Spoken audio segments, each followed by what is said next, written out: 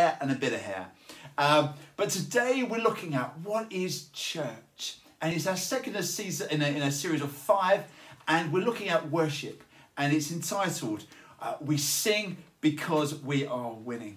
And we're going to be reading from the, um, uh, from the Bible, from the Gospel of Luke.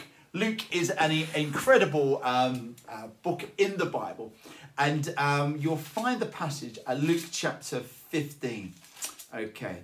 Are you sitting comfortably? Then I shall begin. It's called the parable of the lost sheep. Now, the tax collectors and sinners were all gathering around to hear Jesus. But the Pharisees and the teachers of the law muttered. I don't know if you ever had anyone muttering. Well, Jesus has. This man, he welcomes sinners and eats with them. Then Jesus told them this parable. Just suppose, suppose one of you has a hundred sheep and loses one of them. Does he not leave the 99 in the open country and go after the lost sheep until he finds it?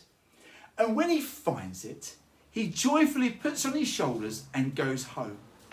And then he calls his friends and neighbors together and says, Rejoice with me, I have found my lost sheep.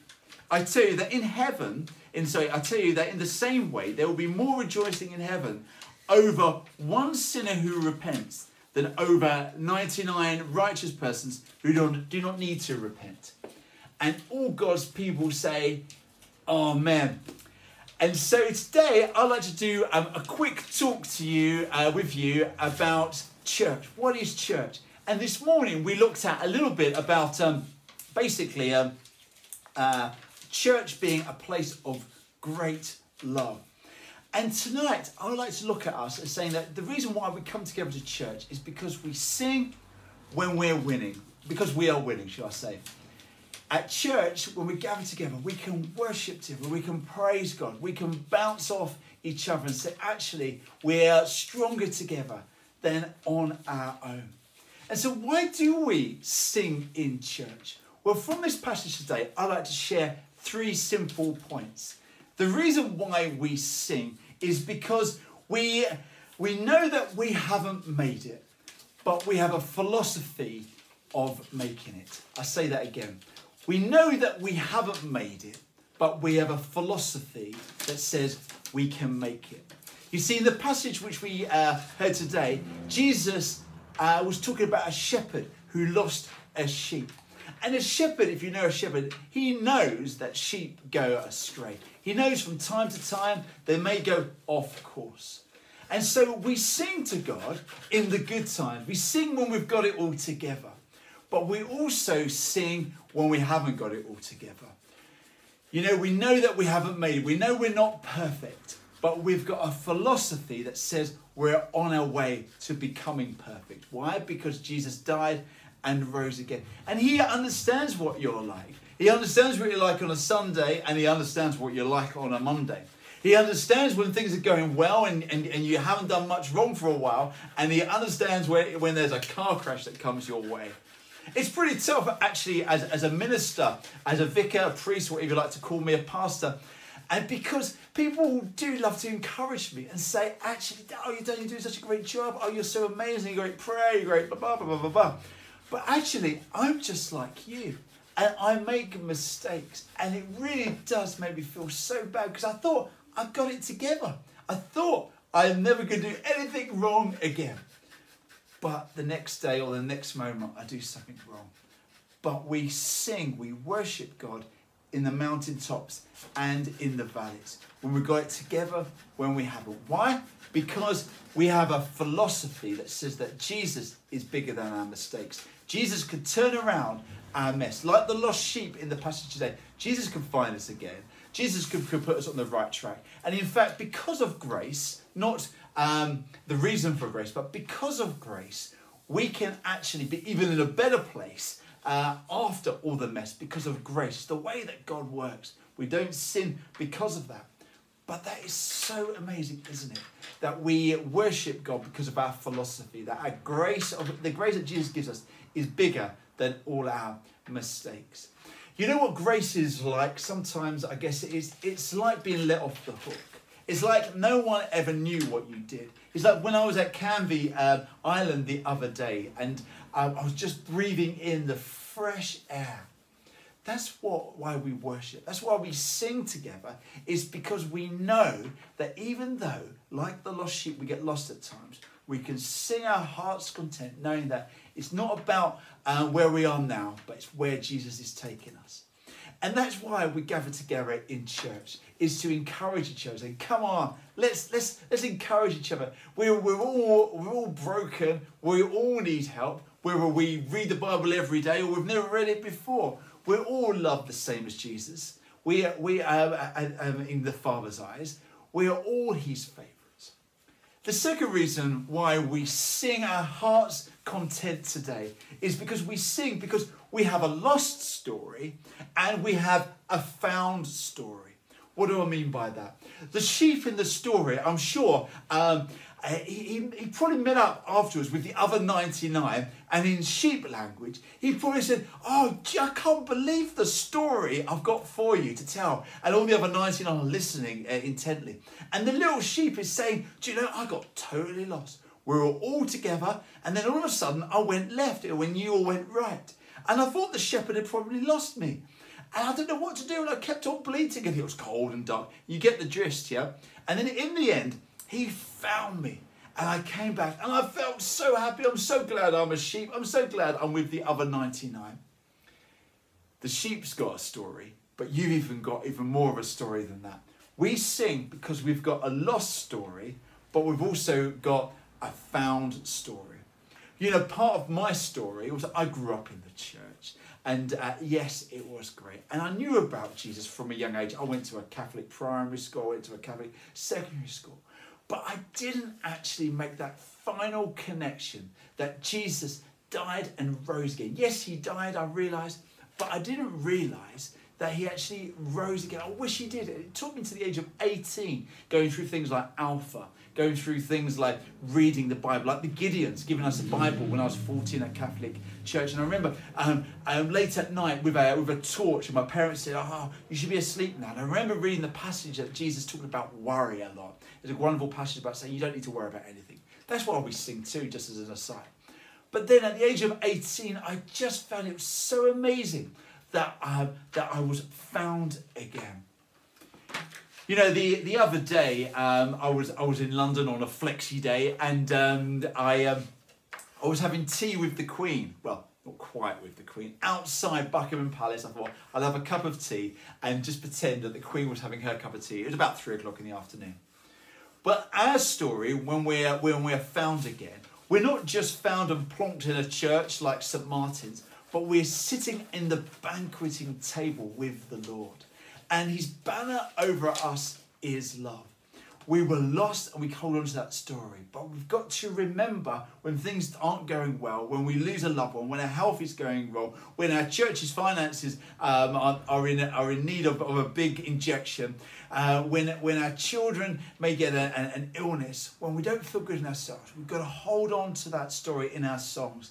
And we sing because we're winning. We had a lost story and we've got a found story. And so, like Peter in the Bible, like Paul, who messed up, who went the wrong way, uh, Paul, who wrote quite a bit of the, the New Testament, was a murderer. Yeah? If anyone out there is a murderer, you're in good company because your life can be redeemed too. You, you could be someone who, um, who just runs away from, from God. That's okay because that's what Peter did too.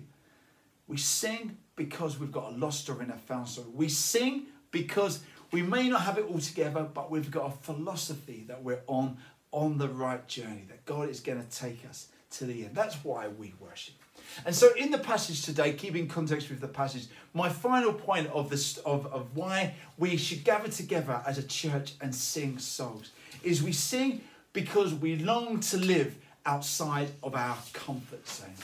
I don't know about you, but sometimes when I worship God, I feel like, oh man, um, it's a bit dull, to be honest. I'm not getting much out of it. And actually, that's not what worship's about. Worship is about Jesus. Worship is about giving him the glory, giving him the praise, giving him everything. And you know, friends, if it starts to get a bit dull and a bit boring, it's not because St. Martin's isn't singing the latest Soul Survivor Hillsong songs, or we can sing those if you like.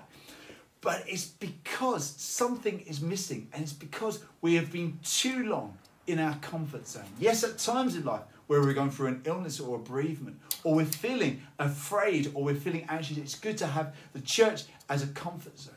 But the church is there to remind us that our principal calling is to live outside our comfort zone. Yes, come back again at times. That is when um, worship comes alive. You hear in the passage, the last part in the passage, where this shepherd, he could have just said, Hey, got my sheep back. Oh, I'm, I'm not going to tell my other friends, I look a bit foolish. But no, what he did was because his love for his sheep was so much, he told his friends and his neighbours, not just, not just his friends, his neighbours as well. I love that point. He says, Come with me and celebrate. Come and, and see the good things that have happened. My sheep was lost and now it is found. Come and let's, let's just have a big praise party. We as Christians are called to go out of our comfort zone. Yes, tell our friends about God, but maybe they don't want to know. Then we're called to tell our neighbours and keep on telling. And then when we do that, we can just hear um, uh, God just calling us to praise Him and worship again. You know, at times it may not always be that great, but Jesus believes in us. That's why He says, Go and tell. Go and tell others. Part of my story was the fact that a load of my, mate, my mates who uh, went to church, they didn't tell me about Jesus because they thought, oh, he didn't want to know. You know, there's loads of people in your life that uh, do not know about Jesus or know about church. But I guarantee if you start telling people, there'll be a few that would want to know. You know, there are two dates in life that are so, so important. The first date is the date that is that you were born, and the second date was the reason why you were born. Friends, we're called as, as Christians and people who follow Jesus to live for that second date, to live for our purpose, to live for the reason we're called uh, on this planet. You know, at St. Martin's at the moment, we're going through um, a bit of a financial push. We need to raise 15,000 extra each year um, to, to, to keep going, to keep um, church vibrant and alive in the community. And uh, we're going to be, I, I, guess, in a way, coming out of our comfort zone. And we may, may feel a little bit embarrassed or a bit intimidated. But when we do that, we will feel actually we want to worship the Lord more. When we go out of our comfort zone, it gives us even more chances to, uh, to worship God. I just end with a couple of points really, um, just from just stepping out of my comfort zone. Um, there was um, a, um, a, a, man called uh, Shiraz Khan. I don't know if I pronounced that correctly. But because I've been praying to God, I said, God, we just want to be church for everybody. We want to be church for, for the, uh, the local community, for the worldwide community. And for some reason, God seems to be hearing that, that prayer about the worldwide church, where we worship the world with the worldwide church, especially through COVID 19. And this guy called Shiraz, I've never really spoken to him, but he said, Would you like to talk to uh, uh, a church in Pakistan? Um, not, not fly over there, but on the Zoom. I thought, Do you know, that is amazing. I've never done that before. Wow. Um, sharing God's love with people from Pakistan, I'm so up for that. And then because of going out of my comfort zone, Oh, sorry, my daughter Callah's just having um, a little bit of fun there. Um, there, okay. Am I on screen, Callah? Good. Uh, this is live. There, there, there's nothing um, um, sort of uh, cut about this. but I, I, I just um, sorry, I just lost my train of thought a little bit there. uh, just, just to end with. Um, I, I was just with um, some dear friends of mine. Uh, I hope they don't mind me saying their names. I'm sure they don't. Um, Simon and Suzanne. Simon and Suzanne, who are a wonderful part of, of our community here in, in Shenley. And they have a love for the church, a love for the community. And we just shared some really, really big things about actually how we could be even, even more um, together, raising the Shenley spirit, raising that sense of community. And that's what church is about. It's, it's about singing outside of our comfort zone, being in the pubs, being in the in the in the cafes, being in uh, in the schools, in the nursing homes. It's not just being inside worshiping God. Yeah, uh, that's fantastic. But we worship God outside our comfort zone. Hey, I think I've said quite a bit here tonight, but I just remind you, and I remind myself too, just some of the points which we shared today. What is church, especially as we go through COVID 19? Church is a place where we can sing because we know that we are winning with Jesus. He died and rose again for us. And that means we sing even though we don't have it all together because we have a philosophy that says actually Jesus has it all together. We sing because we've got a lost story and we've got a found story. You know, that all of us here who know the Lord, who know Jesus, can say, actually, I know when I was lost. But like uh, um, uh, the, the, the hymn writer John Newton, Amazing Grace, I was lost, but now I'm found. And finally, we sing because we're called to go out of our comfort zone. And that's the challenge for tonight, friends, is that if you're finding it hard to worship God, you're finding it boring, then maybe God is saying, why don't you step out a bit? Maybe pray a bit more. Maybe actually tell someone about Jesus. Stick something on Facebook or Twitter, or even go further, go and speak verbally to someone. Let's just end with a prayer. If you're on YouTube or Facebook and you're listening to this, I would just love your comments. That just so encourages me. That's what church is about, isn't it? Is encouraging one another. So please uh, be free to share any comments um, at the end. But let's just say a prayer together. Lord Jesus, we just want to thank you that we can sing because we are winning. We don't have it all together, but you do. We've got a lost and a found story. And Lord, teach us to go out of our comfort zone and worship you there. Draw back in again to see you every morning and every night. But in the day, help us look out for the marginalized. Let's not be selfish. Uh, let us be um, open handed in all our affairs. In Jesus' name. Amen. And so let's just say the grace together. You can do the actions at home too. Callie, you can do them too. It's the grace of our Lord Jesus Christ and the love of God and the fellowship of the Holy Spirit be with us all evermore. Amen. Hey, that's a wrap. Um, hope you have a lovely evening.